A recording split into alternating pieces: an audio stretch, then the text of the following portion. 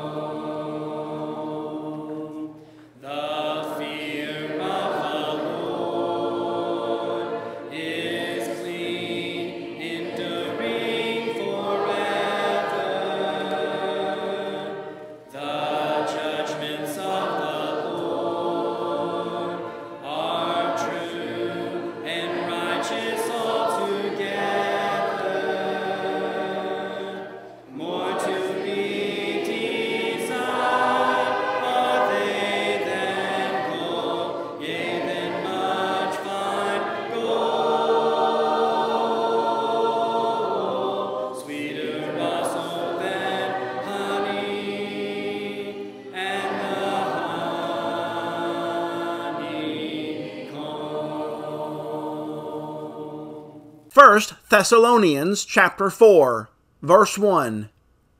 Finally then, brothers, we ask and urge you in the Lord Jesus that as you received from us how you ought to walk and to please God, just as you are doing, that you do so more and more.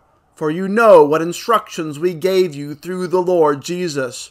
For this is the will of God, your sanctification, that you abstain from sexual immorality, that each one of you know how to control his own body in holiness and honor, not in the passion of lust like the Gentiles who do not know God, that no one transgresses and wrong his brother in this matter because the Lord is an avenger in all these things, as we told you beforehand and solemnly warned you. For God has not called us for impurity, but in holiness. Therefore, whoever disregards this, disregards not man, but God, who gives his Holy Spirit to you. Now, concerning brotherly love, you have no need for anyone to write to you, for you yourselves have been taught by God to love one another. For that indeed is what you are doing to all the brothers throughout Macedonia. But we urge you, brothers, to do this more and more, and to aspire to live quietly, and to mind your own affairs, and to work with your hands as we instructed you, so that you may walk properly before outsiders and be dependent on no one. But we do not want you to be uninformed, brothers, about those who are asleep, that you may not grieve as others do who have no hope. For since we believe that Jesus died and rose again, even so, through Jesus, God will bring with him those who have fallen asleep. For this we declare to you by a word from the Lord, that we who are alive, who are left until the coming of the Lord, will not precede those who have fallen asleep. For the Lord himself will descend from heaven with a cry of command, with the voice of an archangel, and with the sound of the trumpet of God, and the dead in Christ will rise first. Then we who are alive, who are left, will be caught up together with them in the clouds to meet the Lord in the air, and so we will always be with the Lord. Therefore, encourage one another with these words. We have been studying this first letter to the Thessalonians that is teaching us how to live our lives in light of eternity. As we have our eyes focused on the glorious return of Christ, Paul has a concern for these Christians, which is a concern for all Christians. We'll notice this in verse 1. Finally, then, brothers, we ask and urge you in the Lord Jesus that as you receive from us how you ought to walk and to please God, just as you are doing, that you do so more and more. Paul taught them how to be pleasing to God while he was with them in Thessalonica, and he urges them to do so more and more. Paul states in verse 2 that these Christians know the instructions that they gave to them when they were with them there. Notice what their instructions were sanctification, verse 3. For this is the will of God, your sanctification. The will of God is your holiness. God wants you to be holy. Now, we should not be surprised by this. It's a message that God gave to Israel while at Mount Sinai. This is quoted in the New Testament and applied to Christians that we need to be holy because God is holy. Peter tells us that in 1 Peter 1 and in verse 15 we need to take in this idea for a moment. God's will for you is to be holy. A lot of people want to know what God's will is for their lives, and they look in the strangest places to find God's will and purpose for them. But here's one of those purpose statements that our Creator has given to us. We don't have to go search on a mountaintop somewhere in the Himalayas to figure out, you know, what is the meaning of life and what does God want from us. God has told us. God has given us this in his instruction manual. I heard once that the acronym for the Bible is Basic Instructions Before Leaving Earth. And that is so true right here. This is God's will for you your holiness. Be holy. Holiness matters to God. Now, verse 3, Paul's particular point about holiness is that we use our bodies in ways that are holy. Notice that Paul says your holiness looks like this to abstain from sexual immorality sometimes we can think of the Greek Roman world in the first century that it was just so different from our culture that we live in today.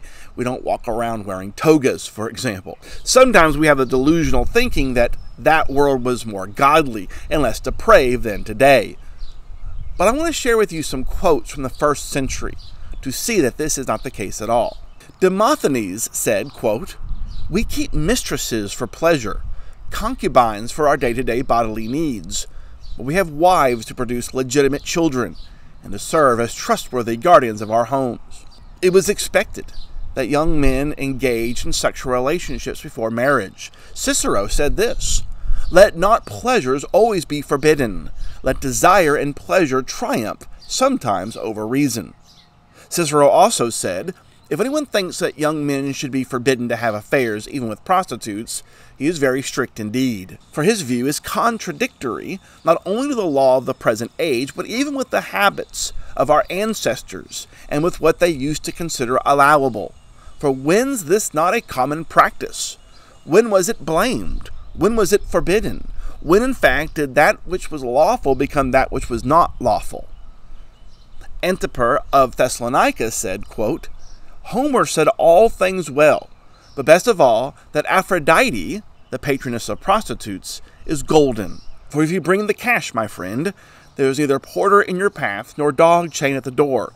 But if you come otherwise, Cerberus himself, the multi headed dog of Hades, is there. Plutarch gave advice that a wife should not be angry if her husband sought sexual pleasure with another woman. He advised that it was better that they close their eyes to the philandering activities of her husband than to complain and so jeopardize good relations with them. Archaeologists have even found graphic sexual frescoes in the homes of the Pompeys from the first century. The paintings of sexual acts were painted on the dining room walls. Now, I say all this to say this don't get into your mind that Paul is teaching something that the culture was already doing. It was not. This culture would have heard these teachings about abstaining from sexual morality as completely crazy and foreign to common wisdom and thinking in some ways, it would be like me standing here in the South and saying, hey, you need to abstain from sweet tea.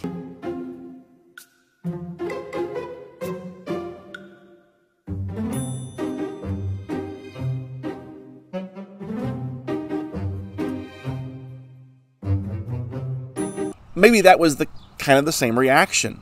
Paul's teaching on this was just as radical then in the first century as it is today in our culture. In fact, it appears that this teaching would have been more radical in the first century. What God commands regarding having holy bodies is not some antiquated teaching from a bygone era. People did not agree with it then, just as they do not agree with it now. Now, the Greek word underneath our English word sexual morality refers to adultery, premarital and extramarital relations, homosexuality, and all perversions beyond one man and one woman for life. Holiness is the avoidance of sexual sin. Any sexual activity outside of marriage between a man and woman is being expressly condemned here. In verse 4, what the Apostle Paul says next here is considered absolutely impossible in our culture today. Each one of you know how to control his own body in holiness and honor. God's will for you is to control your own body. This is something you can do.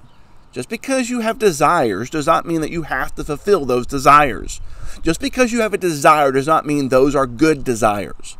Our culture stands in direct opposition to the words of the Apostle Paul here. Our culture says a woman has a right to choose, two people have a right to be married, and a person has a right to define its gender. What you think your rights are is not the issue. God, through the Apostle Paul, says the will of God is for people to control their bodies in holiness and honor. You have the ability to control and channel those desires. Notice that Paul contrasts this with how the world handles their desires. We do not control our bodies like the world in the passions of lust. We are to abstain from things that are characteristics of the world. And this is one where we're called to be different. We are to take control of our bodies. This passage literally reads that we are to possess our own vessel.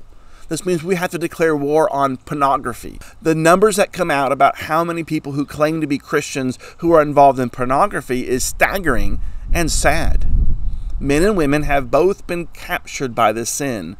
We have to declare war on the television shows and movies that we are watching. Those programs and movies are not only things that we're not supposed to look at, but they in fact ignite a passion and lust in us that is not honorable or holy. We live in a time when sexuality and sensuality is flaunted.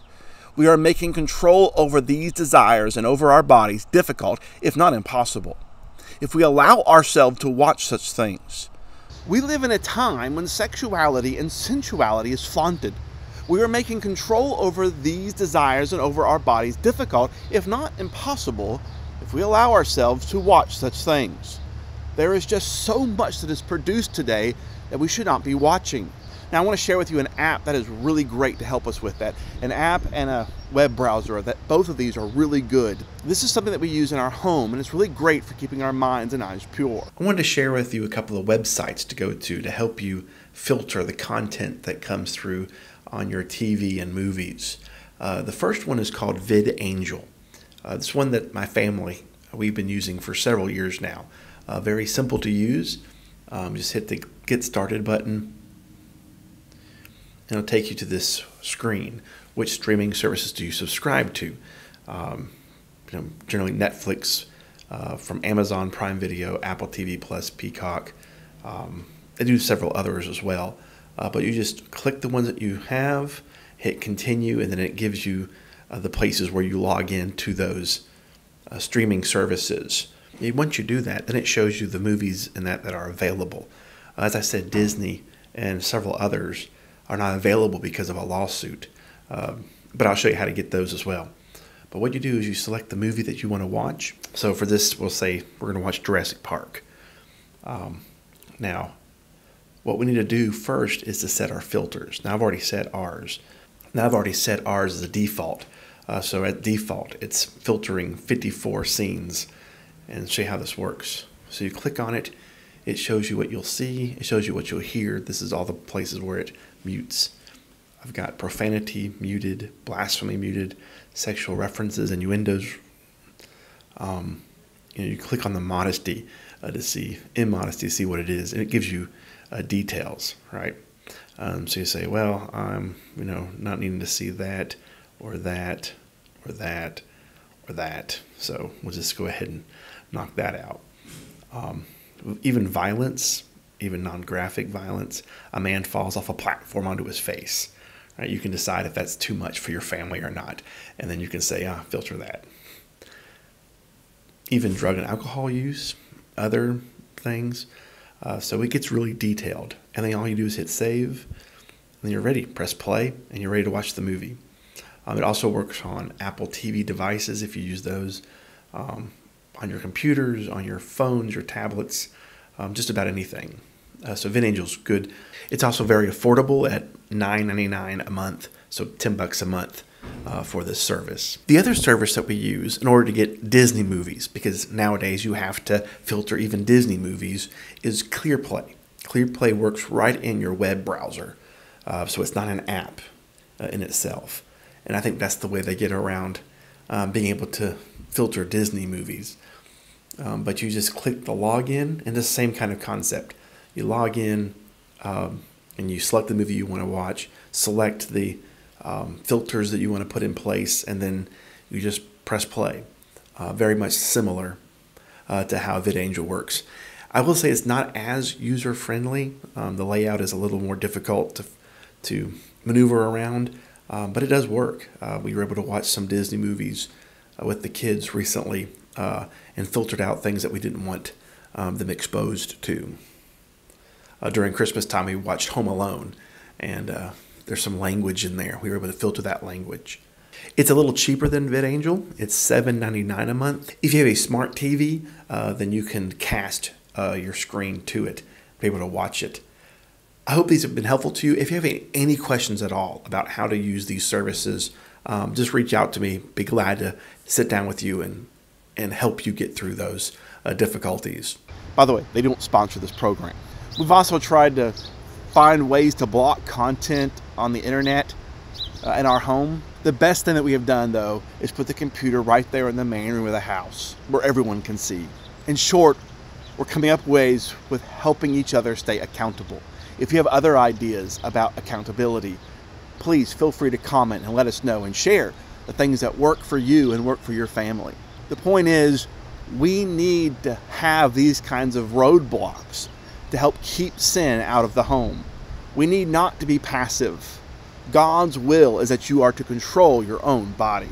Now, beginning in verse 6, God now gives us why it's important for us to possess our bodies in holiness and honor. First, sexual morality is wronging and taking advantage of another person. Now, the word there for his brother is a Greek word that is aldotheos, and it's not a gender specific word. And it can refer to a man or a woman in Christ. Put it another way, someone is getting hurt when there is sexual morality. If you're married, then your spouse is being defrauded and wronged when you go to another man or another woman. This is one reason why God allowed divorce for sexual morality. You have defrauded and wronged your spouse when you gave yourself to another person. But if you're not married, you're defrauding your future spouse. You have allowed yourself to be with another person that you are not to be joined to. This is a gift that is to be given in marriage, giving your whole being, body and soul, to your spouse. Purity is a precious gift. This is the idea that the writer of Hebrews notes when he speaks about marriage. Marriage is to be held in high esteem and remain undefiled. Hebrews 13 in verse 4. But I want to add to this idea even further. In this culture we live with sexuality, have you noticed something? Women are being taken advantage of. Children are being taken advantage of. The news seems to be relentless in reporting how woman after woman is being defrauded and wronged. More and more, we're seeing children abused and exploited sexually. There's nothing holy about sexual morality, there's nothing loving about sexual morality. All that it brings is emotional hurt because people are being defrauded and wronged. Now listen to what else God says about sexual morality in verse 6. The Lord is an avenger in all things, as we told you beforehand and solemnly warned you. Sexual sin is often classified as a personal issue God says that you are hurting other people, and this decision has eternal consequences. The Lord is an avenger when it comes to sexual morality. Let's state this another way God does care if you commit adultery, if you sleep around, if you engage in premarital sex, divorce, remarry, and everything else that centers around sexual relations. We are deceiving ourselves if we think that there are not eternal consequences and eternal punishment for sexual morality. God is very clear. God is so clear about this that Paul says that when he was with them before, he solemnly warned them about this. When Paul came to Thessalonica, one of the messages to them was to stop the sexual morality that ran rampant in that society. God's will is your holiness, and God avenges sexual morality. Thirdly, God has not called us for impurity, but holiness. You have a God given purpose. Paul highlights this truth again in verse 7. You have a different calling. You are to remain pure. You are to keep your body holy. You are not called for an impure life. Do not think that being a Christian includes participating in sexual morality. Do not think adultery is acceptable. Do not think that pornography is not a sin. Do not think that you can look at whatever you want and touch whomever you want. You have not been called to impurity. You are purchased by God for the price of the precious blood of Jesus. You are called to be holy. And then in verse 8, you are not rejecting cultural norms. You are not rejecting tradition. You are not rejecting puritanical values. You're not rejecting Victorian customs. You are rejecting God. If you are involved in sexual morality, you are disregarding what God has clearly taught. Adultery is rejecting what God has said. Sleeping with someone who is not your spouse is rejecting what God has said. Homosexuality is rejecting what God has said. Pornography is rejecting what God has said. Paul makes it plain. You are disregarding God when you disregard your purpose to be holy. Paul shifts now from talking about love that is lustful kind of love to a love that is brotherly in nature, loving one another. The Apostle Paul writes to them about loving one another, but tells them that he does not need to write to them because they've been taught by God. These Christians understood that loving one another was a critical characteristic. If we do not love one another, then we are not disciples of Jesus. Not only were they to love each other, they were loving Christians all throughout the region of Macedonia. But there are ways that we show love to each other that we may be neglecting. Sometimes we can have a shallow picture of what it looks like to love one another. Since Paul has no need to write about all these reasons why the Thessalonians need to love each other, since they already are doing this, Paul teaches them some deeper applications of what it looks like to love each other. So notice what he says here in verses 10 and 11. For that indeed is what you are doing to all the brothers throughout Macedonia. But we urge you, brothers, to do this more and more, and to aspire to live quietly, and to mind your own affairs, and to work with your hands, as we instructed you, that you may walk properly before outsiders and be dependent on no one. Jesus said the world would know that we are disciples of Jesus because of how we love one another.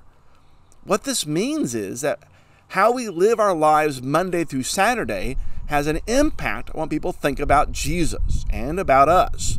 Loving one another is not something that only happens inside of the walls of the church building. What we do when we are at home has an impact to the world. What we do while at work sends a message to other people.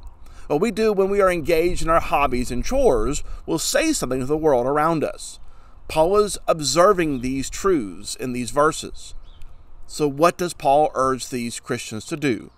But to live quietly. Make your ambition to live quietly. Loving others means living at peace with others, free from hostility and conflict. We live quietly. We're not looking for attention. We're not desiring people to look at us.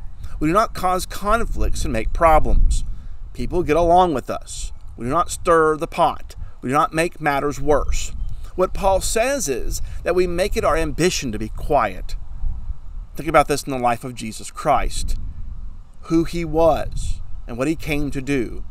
He did not make a lot of noise, did not draw a lot of attention to himself. Jesus did not cause trouble or bang a drum everywhere he went. Trouble came and attention came because he was doing God's will and showing the glory of God through his teachings and actions. But he did not make a display of himself intentionally. Neither should we make a display of ourselves. Make it our goal to be quiet and live a quiet life. Secondly, notice that Paul says that we show love by paying attention to our own affairs. We do not meddle in the affairs of others. We're not nosy, desiring to know everything that is going on with everyone else. Meddling is not love. We can have a preoccupation of wanting to know what everyone else is doing. We want to know what is going on in their lives. We want all the gossip. We want all the details. It is not that we are showing a genuine care for the person, but we are gratifying our own desires of wanting to know and to be in the loop. We want to be in the know. But this is not love. Let people open up to you. Do not pry into their lives. Let them reveal what they will about themselves as they get to know you and trust you. Build a relationship of love and trust so that you can share your lives with each other. No one wants others prying.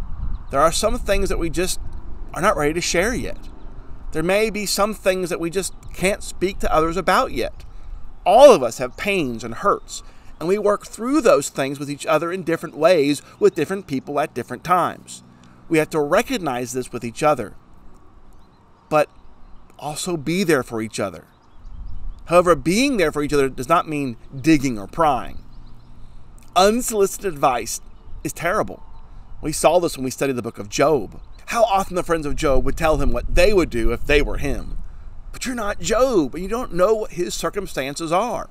It is high arrogance to tell someone what you would do if you were them. People ask you, you can tell them what you would do. Hey, what would you do if you were me in this situation? That's fine. But don't be proud as if you have all the answers.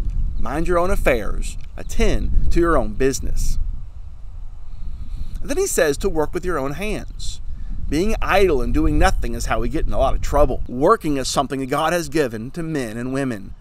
Sometimes people think that work was the product of Adam's sin and the fall. Before sin was in the world, God made sure they had work to do in the garden. Just look at Genesis 2 and verse 15.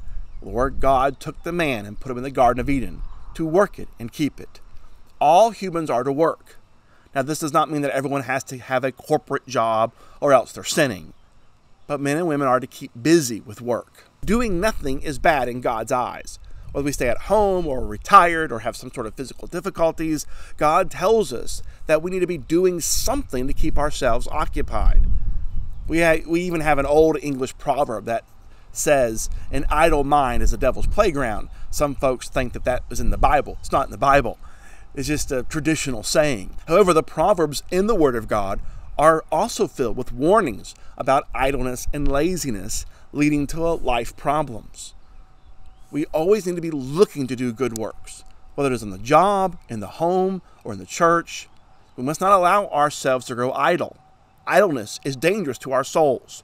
It does not show love to others. Now, in verse 12, Paul states the reason for these instructions that you may walk properly before outsiders and be dependent on no one. God's purpose is that you would stay out of trouble and not need others to support us. Live quietly, mind your own business, and work with your hands that you will not cause problems to those who are outsiders and will not be in need of others to have financial care for us. Chapter 4 concludes with Paul talking about the coming of the Lord.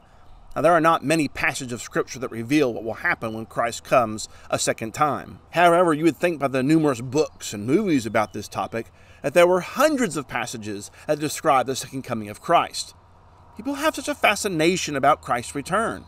This desire to know about his coming is not misplaced because his return is to give us hope and change how we live our lives today.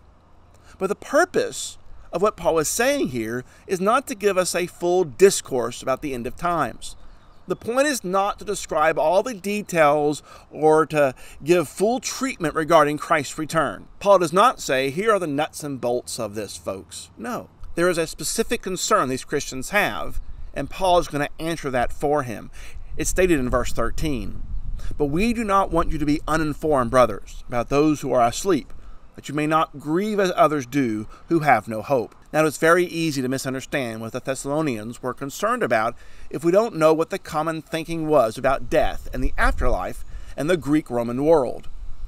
The Roman world believed in life after death. Immortality of the soul was widely believed. If you've had any, any exposure to Greek mythology, then you are aware of this. But Hades was a joyless gloom for departed spirits. The spirits continued on in afterlife, but there was no belief in a reanimation of the body. Now, we haven't got there yet in our daily Bible reading, but when we get to Acts chapter 17, the Apostle Paul encounters this when he speaks about the resurrection to the Athenians, and that caused a lot of them to stop listening to him. Some mocked him when he spoke about the body coming back to life. Others said that they would listen to this again sometime later. Now, it's important to note that the issue is not about life after death. They believe the spirit continued to exist in some underworld or Hadean realm. Therefore, Paul wants to make sure that they are informed. Now, notice what Paul says we must pay attention to, beginning in verse 14. He says, Our foundation is that we believe Jesus died and rose again. This is a critical component of our faith. In fact, we are not believers in Jesus at all if we do not believe that Jesus died and rose from the dead. But please note that Jesus dying and rising again was not the continuing life of his spirit. Resurrection is the body coming back to life.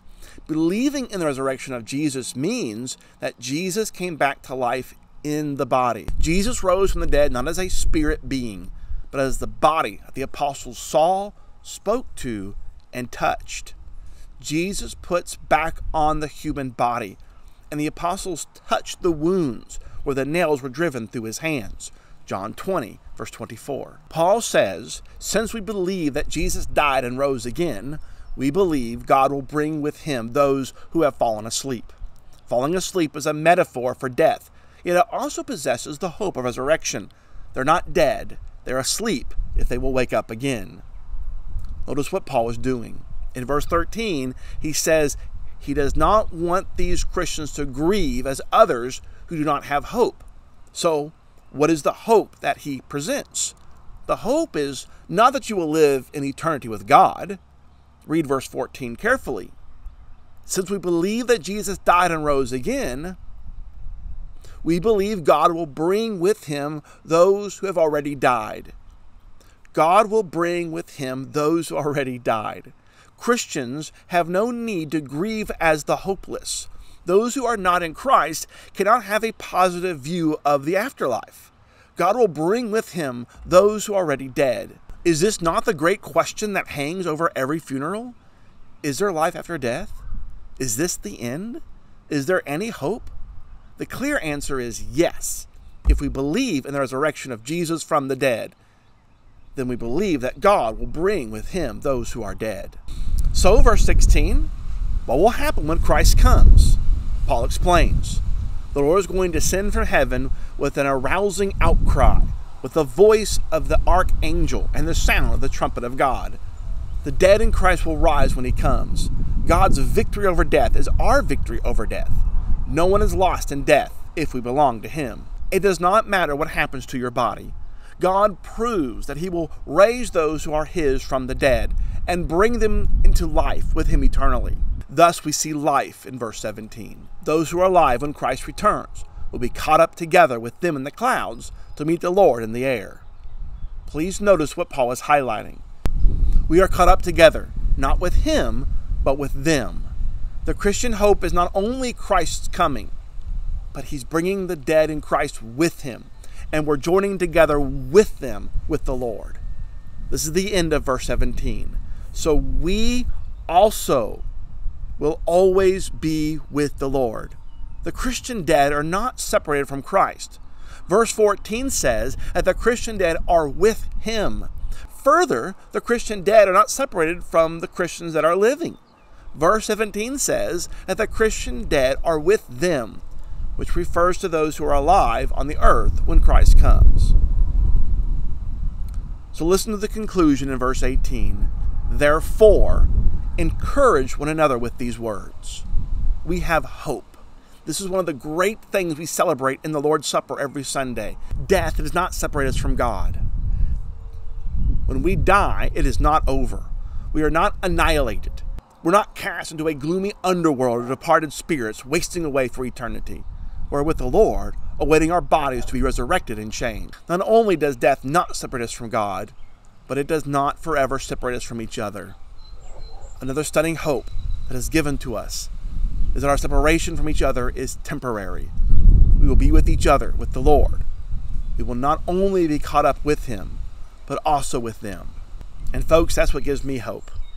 My grandfather was a gospel preacher and an elder in the Lord's church. Shortly after I began preaching the gospel, he was diagnosed with Alzheimer's disease and then died a few years later.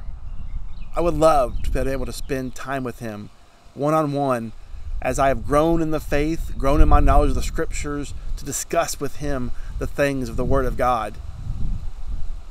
I long to do that. One day I long to sit with him again and to share together what this glorious life in Christ is. And you have relatives too that have died in the Lord. We all have friends and relatives that we long to see again who died in the Lord. Paul tells us we will see them again one day. Therefore, our grieving at death must never obscure the hope of the gospel. We miss being with our loved ones in Christ now, but we know, just as assuredly as we believe Jesus rose from the dead, that those who died in the Lord will be coming with the Lord when he returns, and will be caught up and meet the Lord in the air with them. Folks, not only does this encourage our hearts regarding death, but it must encourage our hearts to be holy and to live faithfully to the Lord because we have the great hope of the resurrection. Serve the Lord and have the hope of resurrection. Thanks be to God who gave us Jesus, who conquered death and rose from the dead, so that those who are in Christ will also conquer death and rise again. Therefore, comfort and encourage one another with these words. Next time, 1 Thessalonians chapter 5.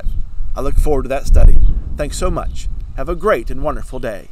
How shall